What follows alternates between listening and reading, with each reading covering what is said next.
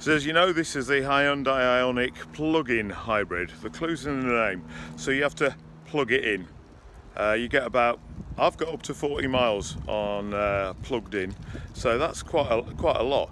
The beauty of this, it comes with two charger cables. This is the one I use at home. You don't need to get one of them kind of boxes on the wall. I've just plugged it into a normal 13 amp, uh, what's it? And then you plug the other end into this little gadget here.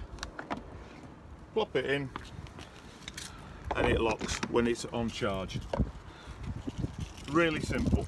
And then this indicator here comes on. When this, the, it's fully charged, it gives you three blue bars to say it's fully charged. But overnight, or it's fine, or you can do it. It's about four hours from from uh, standing start makes you about 50, 50 miles. Just, just fabulously easy. You don't need to, you know, I have run it off an extension cable as well. But unwind, unwind the extension cable because get hot if you do that. And the plug does get hot. It's never caused any problem, but it's hot to touch when it's doing this. It's doing 12 amps. And if you think your, your plug is uh, 13 amp fuse, so it's pulling quite a lot of power through there. Uh, but it, uh, you know, obviously the instructions are in there and uh, manual and stuff, but that's, that's what I've done.